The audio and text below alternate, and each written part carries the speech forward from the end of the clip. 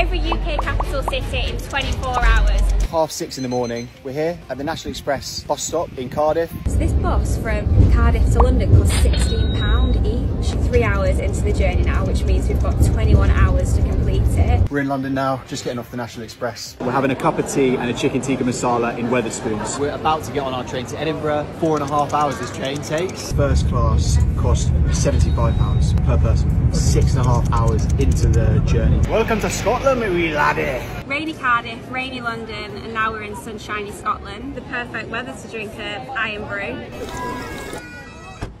Let's go to the airport. Let's go. Just sat on the floor now at the airport waiting for our flight. We are ready for departure. The flight costs £50 each, Edinburgh to Belfast, and it's a 30 minute flight. Welcome to Belfast. The quad tap has been completed. The crowd is going wild.